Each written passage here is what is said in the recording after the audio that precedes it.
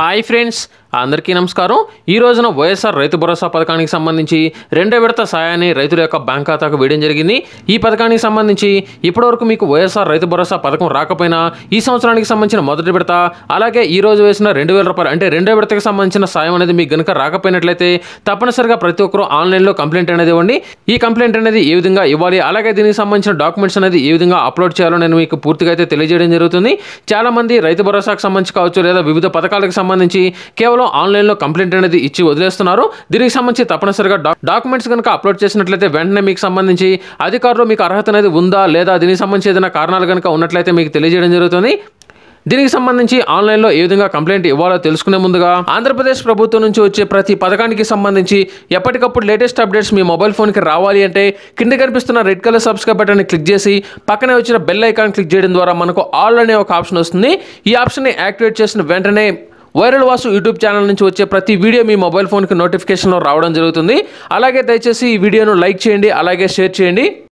రాష్ట్ర ప్రభుత్వం అమలు చేస్తున్న సంక్షేమ పథకాలకు సంబంధించి ఒక వైఎస్ఆర్ రైతు భరోసానే కాకుండా వివిధ పథకాలకు సంబంధించి మీకు అర్హత అనేది ఉండి మీకు పథకం అనేది రాకపోయినట్లయితే తప్పనిసరిగా అటువంటి వారందరూ స్పందన వెబ్సైట్లో కంప్లైంట్ అనేది ఇవ్వాల్సి ఉంటుంది. ఈ స్పందన వెబ్సైట్లో చాలా మంది కంప్లైంట్ అనేది ఇస్తున్నారు. కానీ దీనికి సంబంధించి డాక్యుమెంట్స్ అయితే ఎవరు అప్లోడ్ చేయడం లేదు. దీంట్లో పూర్తిగా నేను మీకైతే తెలియజేయడం జరుగుతుంది. తప్పనిసరిగా ప్రతి ఒక్కరూ ఆధార్ కార్డుకి ఫోన్ నెంబర్ అనేది లింక్ అనేది అయి ఉండాలి. అటువంటి వారు మాత్రమే ఈ యొక్క స్పందన వెబ్సైట్లో మీకు సంబంధించి కంప్లైంట్ అనేది ఇవ్వచ్చు. ఇక్కడ లాగిన్ బటన్ మీద క్లిక్ చేసినట్లయితే ఇక్కడ ఆఫీసర్ లాగిన్ ఉంటుంది అలాగే సిటిజన్ లాగిన్ ఉంటుంది. మనం సిటిజన్ లాగిన్తో లాగిన్ అనేది అవ్వాల్సి ఉంటుంది. నేను నా ఆధార్ నెంబర్ అనేది ఎంటర్ చేశాను. ఇక్కడ క్యాప్చాని ఎంటర్ చేసి గెట్ ఈకేవైసీ ఓటీపీ మీద క్లిక్ చేస్తున్నాను. నా మొబైల్ నెంబర్కి వచ్చిన ఓటీపీని ఎంటర్ చేసి వెరిఫై ఈకేవైసీ ఓటీపీ మీద నేను క్లిక్ చేస్తున్నాను. స్పందన వెబ్సైట్లో లాగిన్ కనుక అయినట్లయితే మనకు డాష్ బోర్డు ఈ విధంగా అయితే వస్తుంది. మీరు గతంలో ఏదైనా కంప్లైంట్ అనేది ఇచ్చినా ఆ కంప్లైంట్ అనేది ప్రస్తుతం ప్రాసెస్లో ఉందా లేదా? ఆ కంప్లైంట్ అనేది సాల్వ్ చేశారా లేదా? మీరు మరొకసారి అంటే కంప్లైంట్ అనేది పూర్తి కాకుండా వారు క్లోజ్ చేసినట్లయితే మీరు రీఓపెన్ అనేది చేశారా? ఇక్కడైతే రావడం జరుగుతుంది. మీరు గతంలో ఏదైనా పథకానికి సంబంధించి గ్రీవెన్స్ కనుక రేస్ చేసినట్లయితే ప్రస్తుతం ఆ యొక్క పథకానికి సంబంధించిన స్టేటస్ దానికి సంబంధించి అధికారులు తీసుకున్న ఎటువంటి యాక్షన్ అనేది తీసుకున్నారో ఇక్కడ రావడం జరుగుతుంది. రాష్ట్ర ప్రభుత్వం అమలు చేస్తున్న అన్ని పథకాలకు సంబంధించి మీకు అర్హత అనేది ఉండి డబ్బులు అనేది రాకపోయినా లేదా మీకు అర్హత అనేది ఉండి లిస్టులో మీ పేరు అనేది లేకపోయినా సరే తప్పనిసరిగా ప్రతి ఒక్కరు ఆన్లైన్లో కంప్లైంట్ అనేది ఇవ్వచ్చు. దీనికి సంబంధించి ప్రతి ఒక్కరు గ్రీవెన్స్ అనేది రిజిస్టర్ చేయాల్సి ఉంటుంది. ఇక్కడ గ్రీవెన్స్ రిజిస్ట్రేషన్ ఉంది కదా ఇక్కడ మీరు క్లిక్ చేయాల్సి ఉంటుంది. ఈ గ్రీవెన్స్ మీద క్లిక్ చేసిన వెంటనే ఇక్కడ రిజిస్ట్రేషన్కి సంబంధించి నేను గతంలో ఇచ్చిన ఫోన్ నెంబర్ ఇక్కడైతే రావడం జరిగింది. ఈ మొబైల్ నెంబర్ ప్రస్తుతం మీరు వాడుకలో లేకపోయినట్లయితే మార్చాలనుకున్నట్లయితే అవును మీద క్లిక్ చేయండి. లేదు ఇదే నెంబర్తో కంటిన్యూ అవ్వాలనుకున్నట్లయితే కాదు మీద క్లిక్ చేయాల్సి ఉంటుంది. నేను నా మొబైల్ నెంబర్ మార్చాలనుకుంటున్నాను కాబట్టి నేను నా కొత్త మొబైల్ నెంబర్ని ఎంటర్ చేశాను. ఇక్కడ పర్సనల్ అంటే వ్యక్తిగత వివరాలు ఇక్కడ ఎంటర్ అనేది చేయాల్సి ఉంటుంది. ఇక్కడ మీ బీన్ కార్డులో ఏదైతే వివరాలు ఉన్నాయో ఆ వివరాల ఆధారంగా ఇక్కడ స్టేటస్లు అయితే రావడం జరుగుతుంది. ఇక్కడ మీకు సంబంధించిన పేరు అలాగే మీ తండ్రి పేరు అలాగే డేట్ ఆఫ్ బర్త్ అనేది ఆధార్ ఆధార్ కార్డులో ఉన్న వివరాల ఆధారంగా రావడం జరుగుతుంది. ఇవన్నీ పూర్తి చేసిన తర్వాత ఇక్కడ మీరు కంప్లైంట్ అనేది ఇవ్వాలనుకుంటున్నారు కాబట్టి మీరు ఒకరే ఇవ్వాలనుకుంటున్నారా లేదా కుటుంబ సభ్యులు అందరూ కలిసి ఇవ్వాలనుకున్నారు ఇక్కడైతే రావడం జరిగింది. ఇక్కడ నేను ఇండివిజువల్ మీద క్లిక్ చేయడం జరిగింది.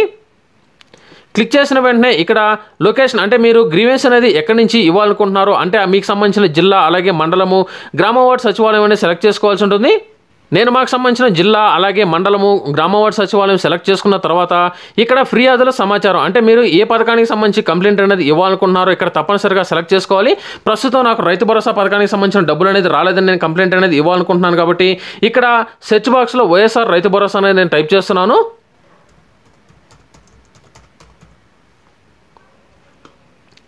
రైతు భరోసా టైప్ చేసిన వెంటనే రైతు భరోసాకు సంబంధించి ఎన్నైతే ఉన్నాయో అన్ని రకాల ఆప్షన్లు ఇక్కడైతే రావడం జరిగింది.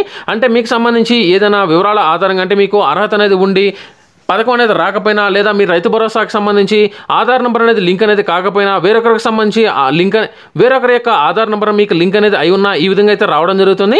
ఒకవేళ మీకు రైతు భరోసాకు సంబంధించి అర్హత అనేది ఉండి మీకు ఎలిజిబుల్ లిస్ట్లో పేరు అనేది రాకపోయినా ఈ యొక్క ఆప్షన్ సెలెక్ట్ చేసుకోవాల్సి ఉంటుంది. ప్రస్తుతం రైతు భరోసా పథకానికి సంబంధించి నాకు డబ్బులు అనేది రాలేదు కాబట్టి అమౌంట్ నాట్ క్రెడిటెడ్ అని సెలెక్ట్ చేస్తున్నాను. సెలెక్ట్ చేసిన వెంటనే ఆటోమేటిక్గా యొక్క శాఖ అలాగే మాకు సంబంధించి ఎవరైతే రైతు భరోసాకు సంబంధించిన అధికారులు ఉన్నారో వారికి సంబంధించి యొక్క ఆటోమేటిక్గా వివరాలు అనేది తీసుకోవడం జరుగుతుంది. ఇక్కడ మనం కంప్లైంట్ అనేది ఆన్లైన్ యూజర్ కాబట్టి ఆన్లైన్ యూజర్ మీద సెలెక్ట్ చేసిన వెంటనే ఇక్కడ నా యొక్క అప్లికేషన్ అనేది ఎవరైతే పరిష్కరిస్తారో వారికి సంబంధించి అగ్రికల్చర్ ఆఫీసర్ దగదత్తికి సంబంధించి రావడం జరిగింది. ఇక్కడ వ్యాఖ్యలు కనుక చూసుకున్నట్లయితే అంటే ఇక్కడ తప్పనిసరిగా మీరు రిమార్క్స్ అనేది రాయాల్సి ఉంటుంది. ఉదాహరణకు మీకు ఈ యొక్క పథకానికి సంబంధించి డబ్బులు అనేది రాకపోవడానికి కారణాలు కనుక తెలిసినట్లయితే ఈ యొక్క వివరాలు అనేది మీరు రాయాల్సి ఉంటుంది. ఉదాహరణకు మీకు రైతు భరోసా పథకానికి సంబంధించి మీ కుటుంబానికి కారు అనేది లేకపోయినా ఉన్నట్టు వచ్చినా లేదా ఇన్కమ్ ట్యాక్స్ చెల్లిస్తున్నట్లు వచ్చినా లేదా మీకు పొలం అనేది ఎక్కువ లేకపోయినా పొలం అనేది ఎక్కువ వస్తున్నా ఈ వివరాల ఆధారంగా మీరు ఇక్కడ రిమార్క్స్ అనేది రాసిన తర్వాత మీకు సంబంధించి ఆధార్ కార్డు నంబరు అలాగే మీకు సంబంధించిన ల్యాండ్ వివరాలు ఇక్కడ నమోదు అనేది ఇచ్చేసి సబ్మిట్ గ్రీవెన్సీ మీద క్లిక్ చేయాల్సి ఉంటుంది. ఒక రైతు భరోసాకు సంబంధించే కాదు మీరు వివిధ పథకాలకు సంబంధించి ఏ పథకానికి సంబంధించి డబ్బులు అనేది రాకపోయినా కూడా ఈ సెర్చ్ బాక్స్లో ఆ పథకం అనేది టైప్ చేసినట్లయితే ఆటోమేటిక్గా మీకు సంబంధించి కొన్ని ఆప్షన్లు అయితే రావడం జరుగుతుంది.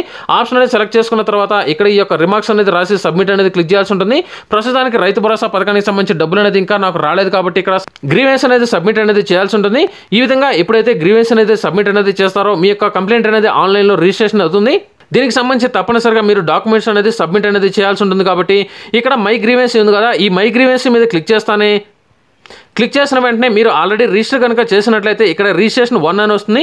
ఈ రిజిస్ట్రేషన్ వన్కి సంబంధించి ఇక్కడ మీకు డేటా అనేది రావడం జరుగుతుంది. అంటే మీరు ఏ తేదీన రిజిస్టర్ చేశారో దాని యొక్క ప్రయారిటీ అప్లికెంట్ దాని యొక్క పేరు వారి యొక్క మొబైల్ నంబరు గ్రీవెన్సీ అడ్రస్ అలాగే మీకు సంబంధించి ప్రస్తుతం స్టేటస్ అన్ని ఇక్కడ రావడం జరుగుతుంది. ఇక్కడ వైఎస్ఆర్ అని ఉంది. అంటే యువర్ సర్వీస్ రిక్వెస్ట్ నంబర్ అనేది వస్తుంది. ఈ సర్వీస్ రిక్వెస్ట్ నంబర్ అనేది మీరు కాపీ చేసుకోవాల్సి ఉంటుంది. లేదా ఆల్రెడీ మీ మొబైల్ నంబర్ కూడా ఈ యొక్క సర్వీస్ రిక్వెస్ట్ నంబర్ అనేది రావడం జరుగుతుంది.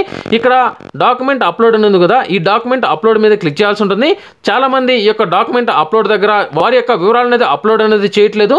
ఇలా ఎవరైతే అప్లోడ్ చేస్తారో వారికి సంబంధించిన అప్లికేషన్ అనేది చాలా ఫాస్ట్గా ప్రాసెస్ అనేది అవుతుంది కాబట్టి తప్పనిసరిగా ప్రతి ఒక్కరూ ఈ యొక్క వైఎస్ఆర్ అంటే యువర్ సర్వీస్ రిక్వెస్ట్ నెంబర్ అనేది ఎంటర్ చేసి గెట్ డీటెయిల్స్ మీద క్లిక్ చేసినట్లయితే ఆ పథకానికి సంబంధించి మీ యొక్క ఆధార్ కార్డు జెరాక్స్ అలాగే మీ యొక్క బ్యాంక్ పాస్బుక్ జెరాక్స్ మీ భూమికి సంబంధించిన పట్టా పాస్ పట్టాదార్ పాస్బుక్ యొక్క జెరాక్స్ అనేది సబ్మిట్ అనేది చేయాల్సి ఉంటుంది. ఒకవేళ మీకు భూమి అనేది ఎక్కువ వస్తుందని కనుక వచ్చినట్లయితే మీకు సంబంధించిన భూమి మీ భూమికి సంబంధించిన అన్ని రకాల పట్టాదారు పాస్బుక్ జెరాక్స్లు మీ యొక్క ఆధార్ కార్డు వివరాలు అప్లోడ్ అనేది చేయాల్సి ఉంటుంది.